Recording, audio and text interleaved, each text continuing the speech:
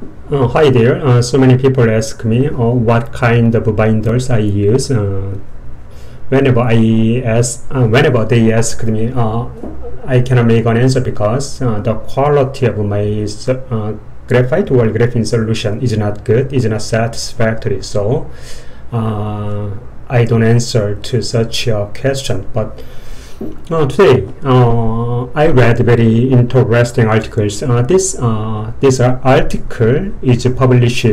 Uh, how do I say that? Yeah, this article was published by Korean scientists. Uh, you can find this article in ACS publications. Uh huh.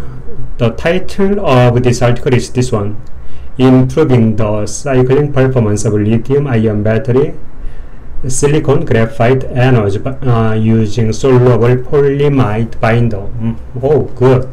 Really impressive. Uh, you can read this article in ACS here. No, no, no, not here.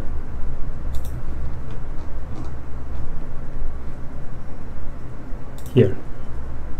You can you can find this article here. Oh, very interesting. So, what is uh, what is uh, uh, P84 binder? Mm -hmm.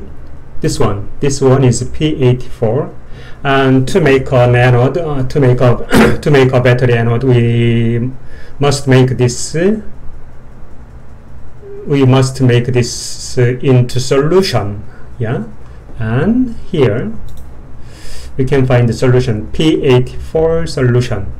Oh really really impressive. Mm hmm.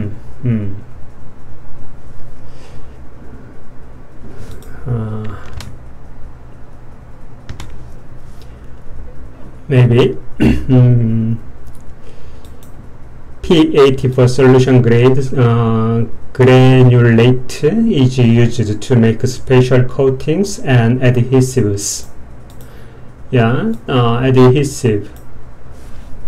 To make a graphite or graphene binder, we need something uh, such as uh, adhesive, maybe.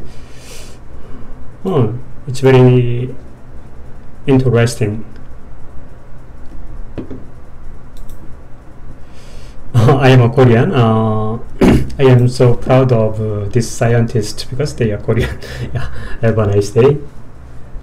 Uh, I hope this uh, information is helpful helpful to you.